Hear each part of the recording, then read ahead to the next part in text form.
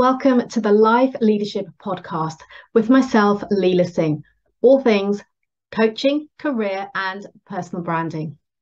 This podcast is for ambitious career professionals like you, wanting to create a life of choice and freedom, to be, do, and have more through overcoming limitations, to develop new perspectives and insights, and to redefine your success, be that in work, health, relationships, and so much more.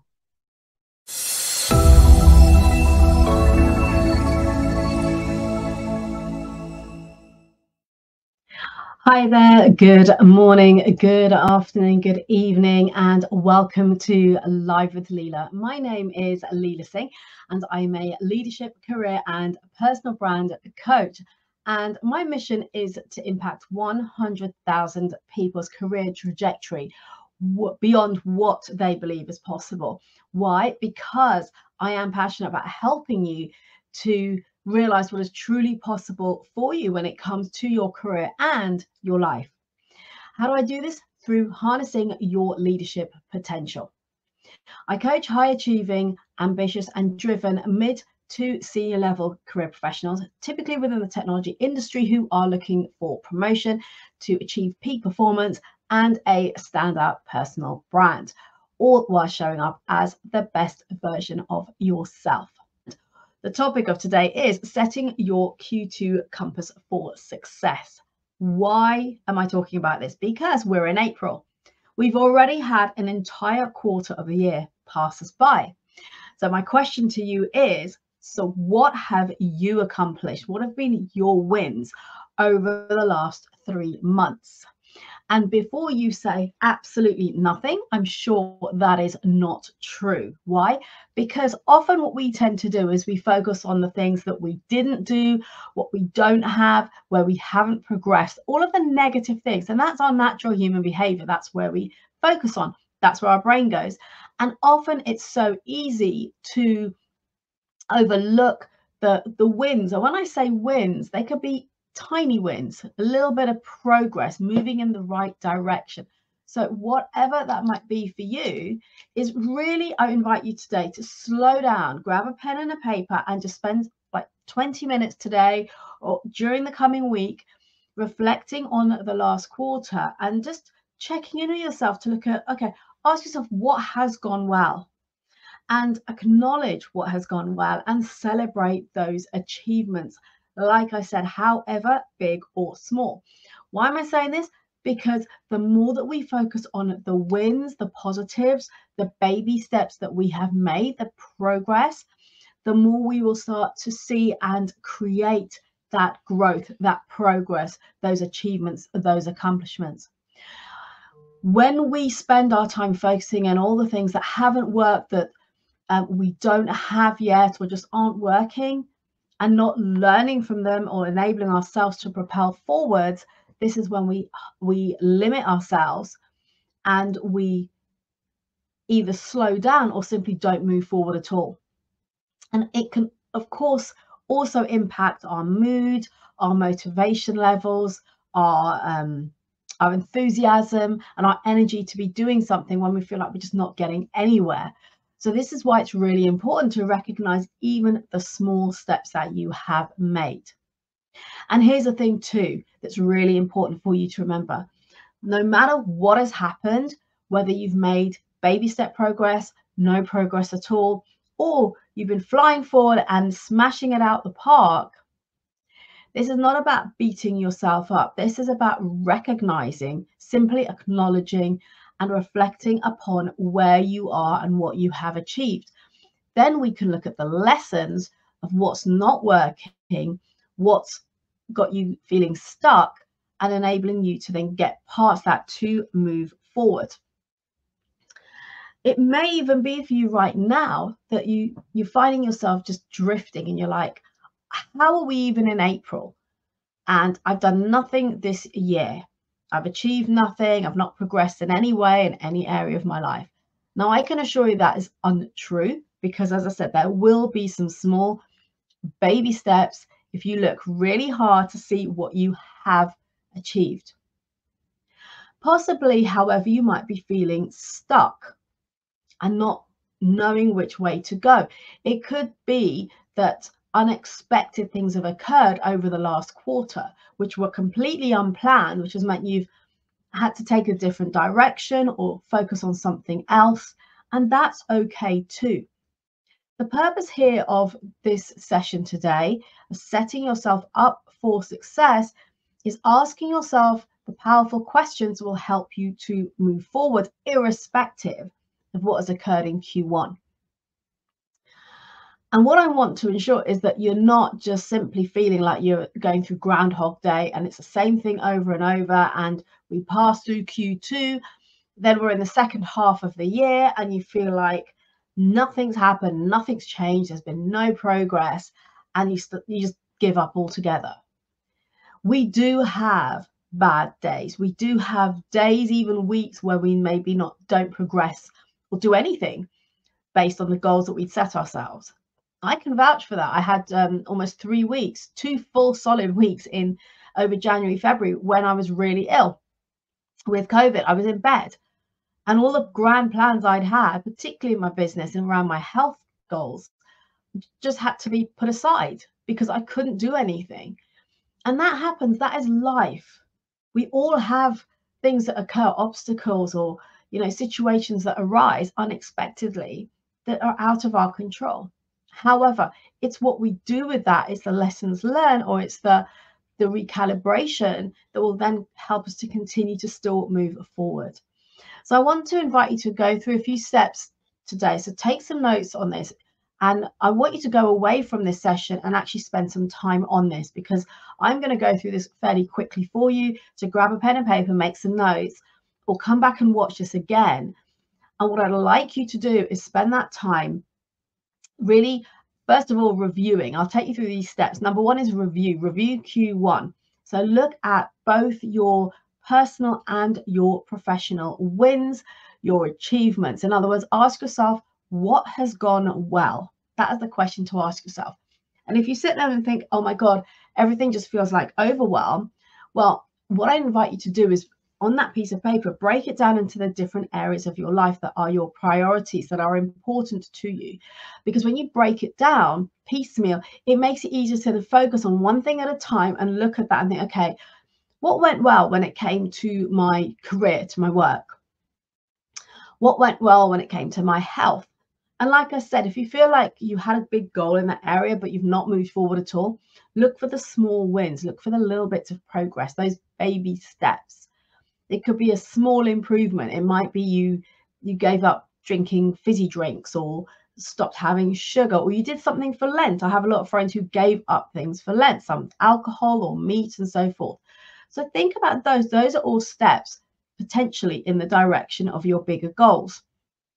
So break down that list of the areas of your life that are important, such as career and work, your health, your relationships, your family, your um, your friends circle, your hobbies and interests, perhaps your environment. Maybe you're thinking of moving house or um, doing some work on the house or decluttering or whatever it might be. All of these different areas of your life, break them down. Perhaps your financial stability. Maybe you were planning to do some investments or look into what options there are, or you know, setting up an ISA or looking at your pension or whatever it could be for you when it comes to your, your financial stability. So identify, let's say, five core areas or priority areas in your life and ask yourself for the last three months, what has gone well? What, where have you moved forward? Where have you made a little bit of progress? And if for any reason you're struggling with this, what I tend to do, because I'm, I'm one of those people who uh, as soon as I've done something, I forget and I move on to the next thing. And I've recognized that's not healthy. And here's the thing the newsletter that I publish on LinkedIn every week, check out the one on Friday. I'll pop the link in the post shortly for that. But do subscribe if you haven't. Check out the edition I put because I thought, let me just put a little bit of only March reflections. And I sat here and I thought, okay, what happened in March? And the way I do this is I pull up my calendar because it then jogs my memory of what's happened during the month or the quarter. And I really surprised myself at actually how much had occurred during the month that was really good, that was really positive, that was some element of progress or a win or an achievement for me. And that's both in work and in personal. So, so that's an approach you could take is to look at your work calendar, your one the one you have on your laptop or on your phone, to just jog your memory of the things you've been doing over the last quarter. And it's really important to do that. Why?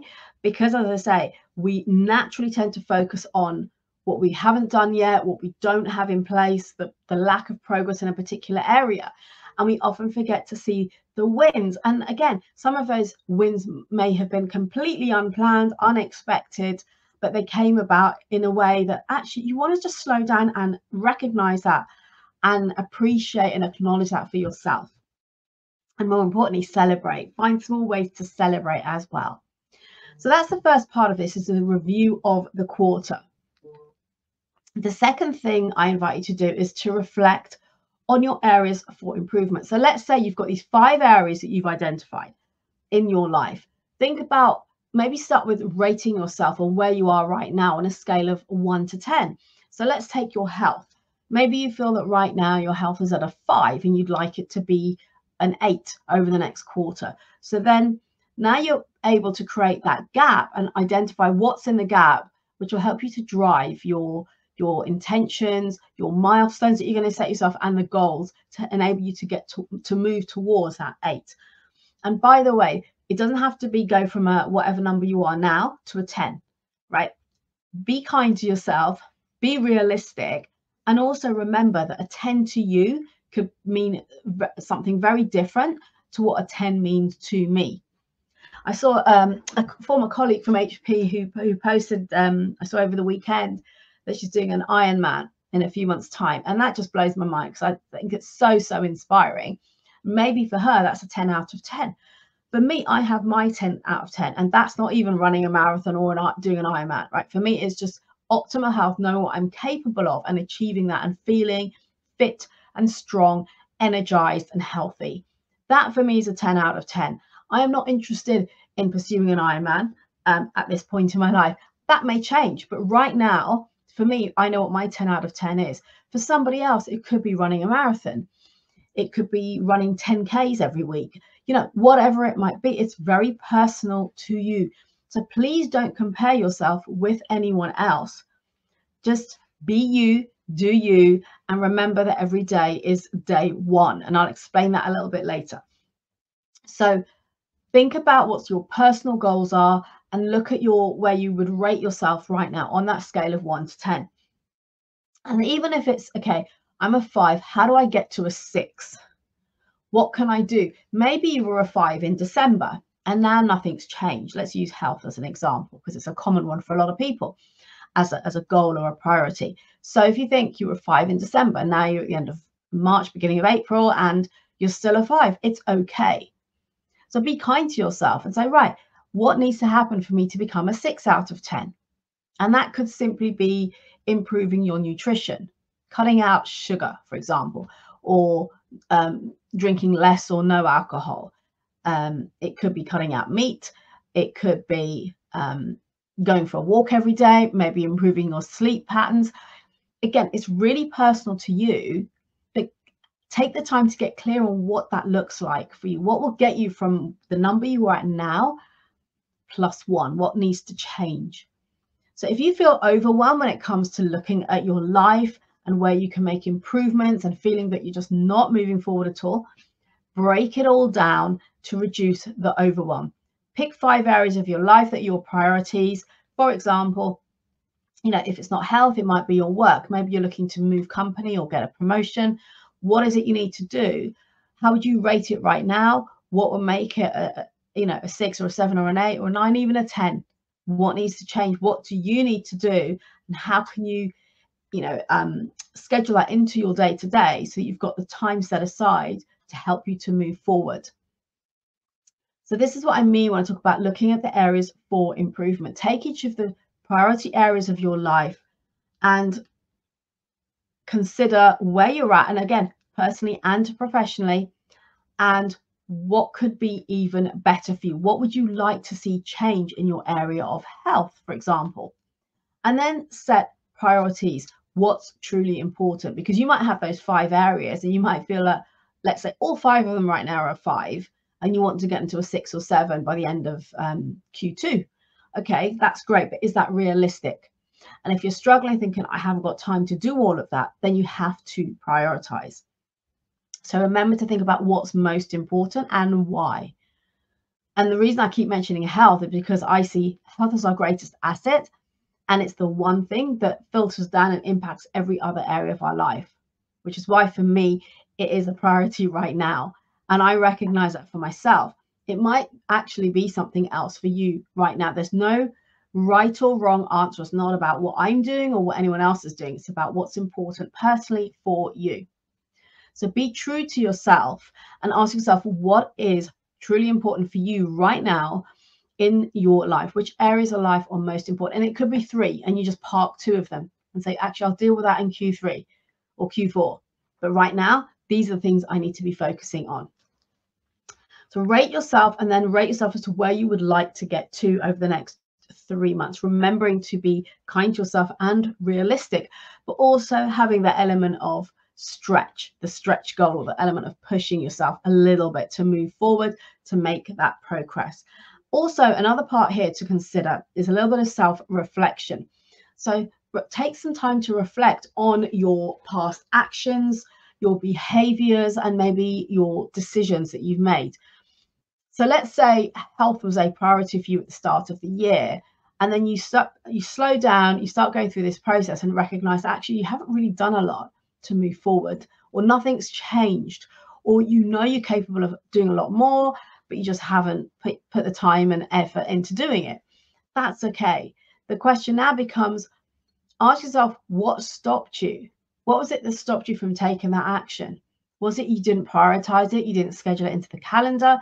That you would rather go do something else, go hang out with your partner or your friends, you know, with your family, whatever that might be. And it's okay. This isn't about beating yourself up. It's about recognizing your habits and your behaviors and bringing this into your self awareness. Because when you do that, that's when you get to recognize that now you've got a choice. You can continue what you've doing what you've been doing. And as the saying goes, having the same result. And if you're happy with that, then that is okay. If you're feeling frustrated, if you're feeling unhappy or dissatisfied with where you're at in a particular area of your life, then you do really want to look at okay, why was it, what was it that stopped me doing something that I had set myself a goal to do? Why did I not take action? Why didn't I implement? Because oftentimes we know what we need to do. I've heard this said so, so often, whether it's career, whether it's health. It's like, yeah, we know what to do, just not doing it. So really like slow down and check in with yourself. Is it procrastination? That's a great label procrastination. But the reason is that now you want to delve deep into that to understand what is causing you to procrastinate. Is it fear? Is it fear of failure? Is it fear of success? Is it fear of what other people will say? Is it fear of not feeling good enough or ready or smart enough? Whatever it might be, it's about really having or building, shall I say, that level of self awareness of what is triggering you, what is stopping you, what is hindering you because once you have that information, when you're armed with that information, you can then make different choices. Or you can seek out help if needs be from friends, from family, from a coach, from a mentor, from a manager to assist you and support you, to maybe even have you accountable so that you've got someone when often when people are accountable to somebody else, they're more likely to take action. So understanding where you're at in your behaviors, in other words, your reflecting on yourself and what you're doing, the thoughts that are coming up for you that stop you taking that action that you know is going to help you. Understand, seek to understand what is going in for go sorry, what is going on for you in here that is actually potentially holding you back. Now that you're armed with that information, what am I going to do with that? What decision can I make now? What choices do I have? These are all the questions to be thinking about to ask yourself. And then my invitation is once you've identified the areas for improvement, your priorities, whether it's one area, whether it's three areas, whether it's five, it doesn't matter. It's entirely a personal decision. You want to start thinking about how can I create that focus time to work on this? What level of commitment am I going to give it? How consistent am I going to be? to enable me to move forward or to see progress and improvement.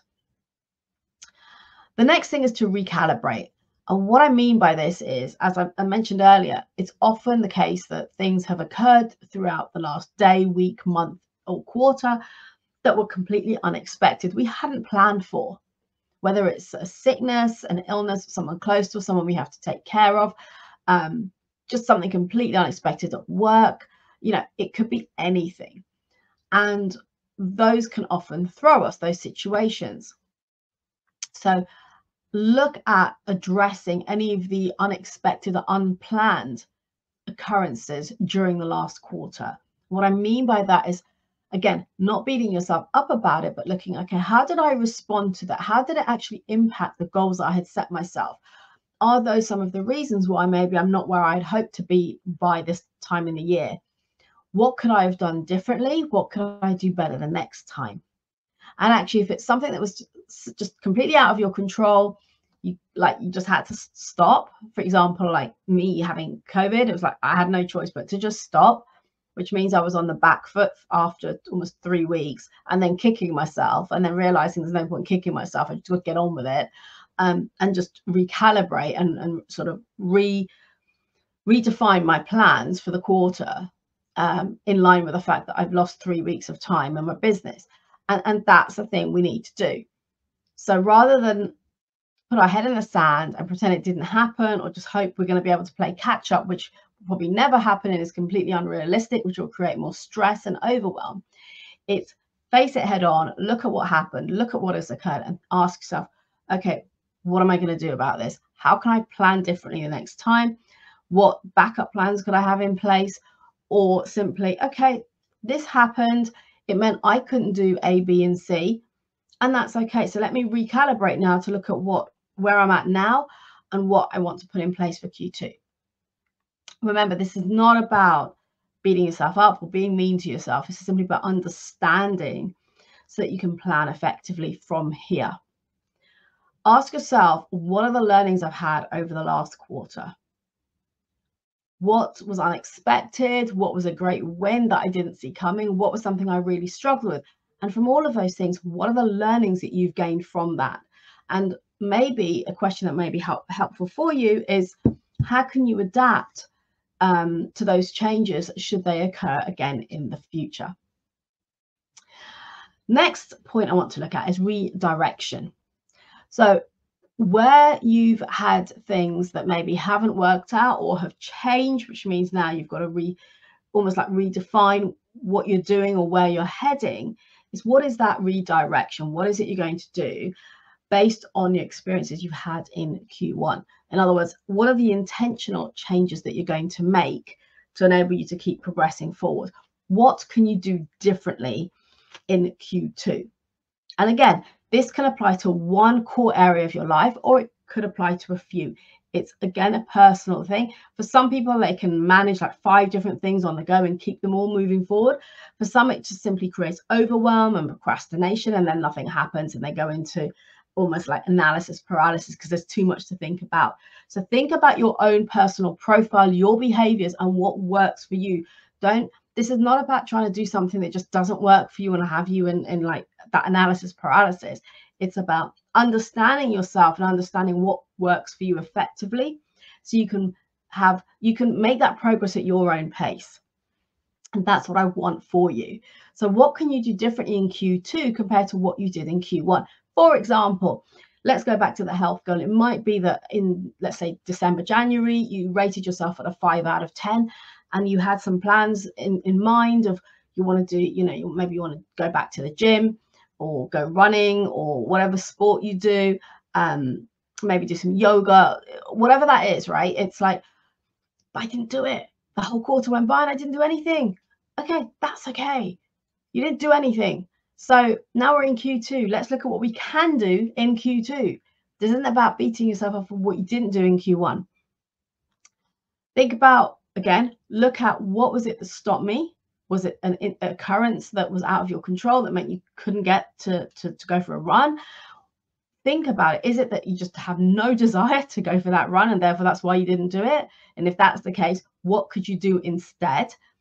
Again, this comes back to the realistic goals you're going to set yourself a goal of doing something and knowing you're actually going to hate doing it and then less likely to do it, that doesn't make sense. So look at things that you can have fun doing, you can enjoy. Maybe it's going for a walk.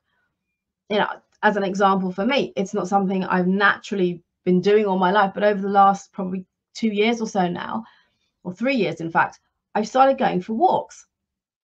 And sometimes I will spend that walk maybe catching up with a friend on the phone. Sometimes I listen to an audiobook. Sometimes I will just walk and just have time to myself in my own thoughts. And that works for me because I mix it up. I have different experiences each morning when I have that walk, depending if I'm speaking to someone or if I'm just with my own thoughts. But I really enjoy that now. But if you maybe you'd asked me five or 10 years ago, but like, doesn't interest me to go walking because I used to be uh, more of a gym person. Whereas now I don't do that so much. And actually, I really enjoy getting out into the fresh air in the mornings to set myself up for my day. That's a personal thing for me and I enjoy it. So it's easy to do. And you want to make these things easy. So it's not a case of having a negotiation in your head about should I, shouldn't I, because I really hate it and I don't want to, but I have to. That's you want to have a good energy behind what you're doing. So look at things that are fun, that are enjoyable, or make them enjoyable in some way, whether it is running, going to the gym, listening to your music or an audiobook or a podcast while you're exercising that can make the time pass even quicker. Look for ways of doing that. A book I'd recommend actually is um, Atomic Habits by James Clear, where he talks about layering your habits. For example, when you go for a walk and listen to an audio book or a podcast, and I, I'm very guilty of saying I don't really read as much as I would like to. So what I do instead is I will listen to audiobooks a couple times a week when I'm walking. So then I'm getting through some of the books. I'm, I'm, you know, learning, I'm developing, and that for me works. What else can you do to layer your habits so you're getting a few things done in, in at one time? One thing I want to mention here is we're talking a lot about the doing, and something I, I've talked about um, in more detail before, but I just want to remind you of is that if you are struggling with your goals and with moving forward and with seeing that progress, is to just slow down for a little bit and focus on who you're being. So, your identity. When we look at goal setting, and again, James Clear talks about this in his book. So, if you have the book to hand, check out chapter two, where he starts to explain this in a lot more depth. I'm not going to do that today, but I'm, pointing you to that um, that content because it's really valuable in explaining how you can set yourself up for success with your goals by actually focusing, first of all, on your identity. Who are you being? So, for example, with health, if you know you're not happy with where you're at right now, recognize where it is you want to be. Identify with someone who is maybe in that place already and check in with yourself as okay, who are they being to be able to achieve that level of health that you are aspiring to? Is it that they are committed to going to the gym every day? Is it that they're consistent with what they're doing? That they make good choices when it comes to their food? You know, again, this is really personal for you, but just slow down and think about who are you being in the moment when you're making certain decisions. Because when you slow down to that and recognize that actually that person that I want to be for my health wouldn't do what I'm about to do, eat the big cream cake, for example, then you might make a different choice. So this is where having that having clarity on your identity for now and living into that identity now will help to make these goals easier to work through. An example I'm going to give you of this is me with my health. And I had actually said um, about a year ago, I was saying, well, you know, I really want to to get fitter and healthier, but I was still struggling to get to the level of consistency that I'm at now. Why? Because I didn't recognize, I didn't see what I was doing from an identity point of view. And actually, uh, uh, when I was asked, well, what's the reason that you want to to get fitter and healthier? Because it will help with, for example, my let's say my confidence levels and how I look in my clothes. And what I realized is actually if I feel, if I choose, because I can choose, right, to feel uh, um, not confident, I was going to say unconfident, not confident or confident. And by choosing to be confident now, that's now my identity. That actually was a switch for me that created the consistency because I know as that person who is confident, I am the person who is going to be consistent with my exercise, with my food choices, and so forth to be able to improve and see progress when it comes to my health.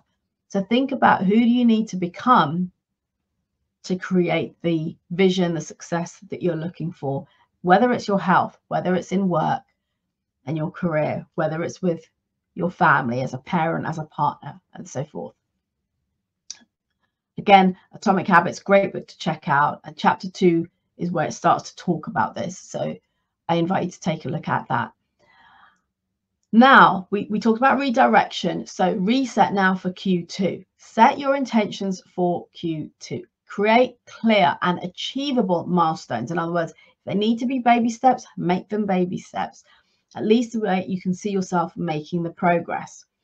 And also remember, this isn't only about setting your intentions, it's about implementation. So look at how you in, in, integrate and incorporate all of these intentions into your day to day so that you're actually living it. And if you're thinking, well, baby steps aren't going to help me, of course they are. The compound effect, another book I've mentioned before, Darren Hardy's compound effect, but great example of the little baby steps being done consistently will create that effect and have you seeing the progress and the wins that you're striving for. It might take longer than you would like, but you know you're heading in the right direction. And that is what this is about. This is about consistent growth and development and improvement and progress. So think about baby steps and how those compounding baby steps will get you to where you want to be and live into it again. Think about the identity of who you want to become and be that person today. So live into that through your choices that you make, the habits that you instill, and the behaviors that you exude. If you want to be that person who is top of their game when it comes to their health and fitness, then what choices are you making? What decisions are you making about going, whether it's going for the walk, the run, the gym, the swim, the yoga? And check back in with yourself, slow down and just check back into is this decision going to move me forward or keep me still? Again, it's little, little steps to get you to where you want to be. And something I heard in the challenge that I was on a few years ago, a fitness challenge, was every day is day one. And it's something I always hold by my side. It's every day is day one. Why? Because we will all have bad days, days when we just don't want to do anything. Maybe if you're not well, for example, or you just lost all motivation. And it's okay. So it might be you have a day when you do no exercise or you eat loads of chocolate. Maybe you did that over the weekend because it was Easter. That's okay. Today is day one. Recommit. It's not about, okay, I give up now because I ate loads of chocolate for Easter. It's about, oh, I did that. I acknowledge that. It's okay. Today is day one. I'm back to whatever, you know, eating habits you did have that you know will help you, will move you forward, help you feel fitter, healthier, more energized. So every day is day one. Something else that I've come to realize has really helped me is if you've got a never ending to do list, is try and create projects from that. Why? Because it doesn't, it, it, it almost reduces the overwhelm a little bit because now you've got projects and little to dos within a project, but actually it becomes easier at a granular level to tick things off they look less overwhelming to tackle particular tasks, and therefore you feel um, more, let's say, motivated to actually approach them and get things done. So think about projects where you can, for example, a work-related project or a health project even, and, and treat it that way and then have your little baby steps beneath that as the overall bigger area of your life. I trust this has been helpful. Any questions, I said, do pop them in the comments and let me know. And just think about the importance of taking the time to do what we've talked about today, whether you spend 10 minutes today, tomorrow, the rest of the week, or take an hour or so at the weekend to really look at all of this so that you have a plan in place and integrate it into your calendar, into your habits, so that you can make the progress that you want to. Any questions? let me know. Have a great rest of the week. And until next time, remember to harness your potential elevate your performance and strive towards your growth and your development by showing up as the best version of you. Take care. See you next week.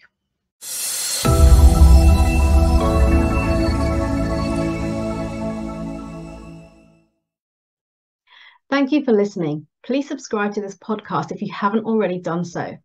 And if you enjoyed and gained value from today's episode, then do please leave a review telling us your key learnings and what you enjoyed the most.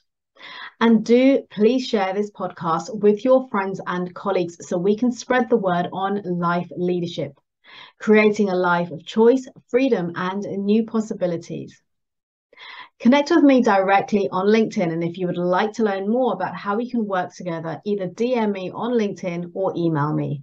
All details and resources can be found in the show notes.